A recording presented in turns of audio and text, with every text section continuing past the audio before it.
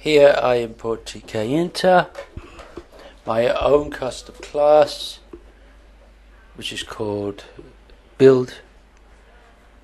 I add a main window, in the main class, and put some geometry on it, and eventually I call my custom class.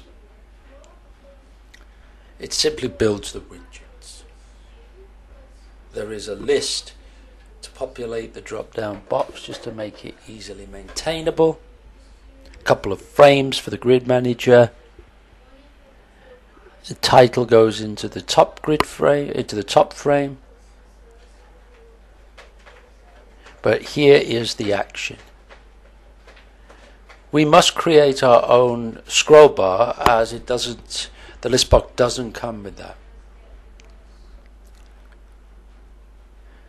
We must then create a tkinter list box and we must unite the scroll bar and the list box.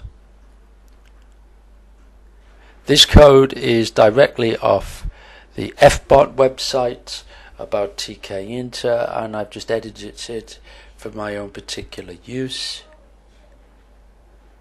configuring the scroll bar to be Y rather than X direction, populate the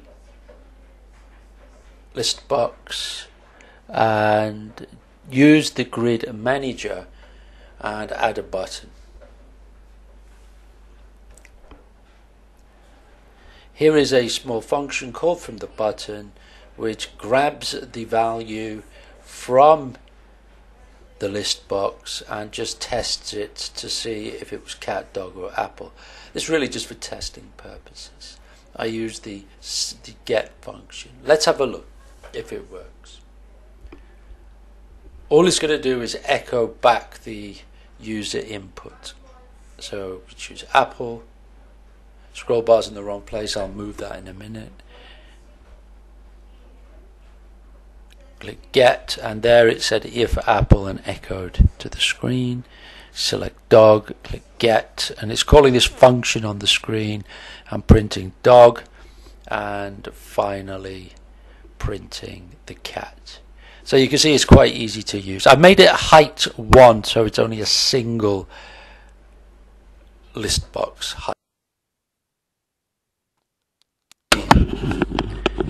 uh, scroll box, I've just got to change the row. It's on row 1 of the frame. It should be in row 0. This frame has two rows, one with a button, one with a list box. So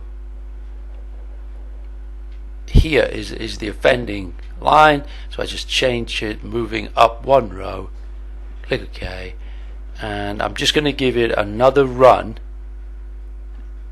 to see if it did move up from row 1 to row 0. There's a very useful thing about the grid manager compared to pack.